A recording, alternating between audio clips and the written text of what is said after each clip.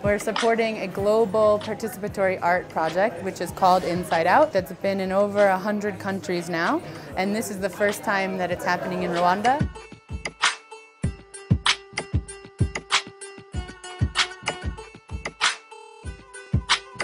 Whole idea is you take pictures of people who are HIV positive and people who aren't. Those portraits will then be sent off to be printed into very large, large photographs, and we will actually paste them outside walls of this building. If he just sees the pictures, he probably won't know it's about HIV, which is kind of the point. And when we go around our every day, you look at someone and you can't see if they have HIV. From this, we really share a message that HIV has no face. You don't know who is positive and you don't know who is negative, but ultimately we're equal. We want to have people express their own opinion on why fighting HIV stigma is important to them, or why do I fight against HIV stigma. We are giving hope to people living with HIV, helping them to accept themselves, to stop living in self denial. And so part of this experience is to let people know that anyone with HIV is, is a person and, and they deserve love just like every person.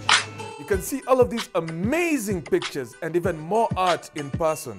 Be part of our poster pasting party and you can help us put this art on display. Afterwards, there'll be a rooftop dance party. Visit our Facebook page for more information and see you on June 7th.